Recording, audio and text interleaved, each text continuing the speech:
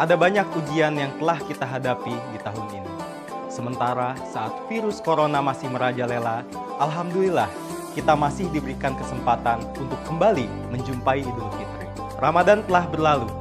Kini fajar kemenangan telah menyambut membawa sinar terang kedamaian dan kesucian dengan menebarkan berkah di hari yang fitri. Lantunan indah, suara takbir kini juga telah berkumandang. Tiba saatnya membuka hati untuk saling maaf-memaafkan agar kita kembali ke fitrah. Saya, Pilar Saga Ihsan, Wakil Wali Kota Tangerang Selatan, beserta keluarga dan seluruh staf pemerintah Kota Tangerang Selatan mengucapkan Selamat Hari Raya Idul Fitri 1443 Hijriah. Minal Aidin wal Faidin. Mohon maaf lahir dan batin.